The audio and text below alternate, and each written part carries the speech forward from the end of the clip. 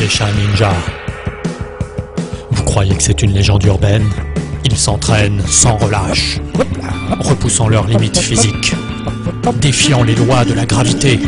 Ils peuvent courir sur l'eau, passer maître dans l'art de l'approche furtive, toujours à l'affût.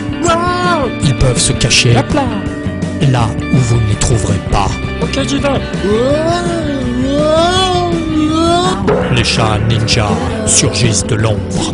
Ce sont les espions les plus discrets du monde.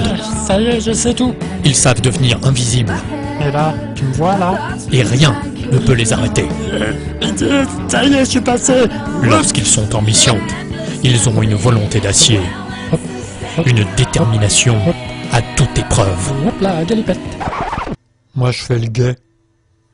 Les techniques de combat des chats ninjas font d'eux ils n'ont peur de rien, même contre les adversaires les plus féroces. Vous ne les verrez surgir qu'au dernier moment. Non, les chats ninjas ne sont pas une légende urbaine. Ils existent.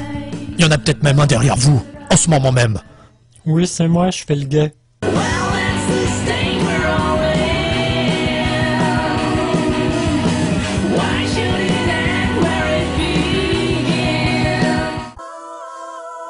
Furisette.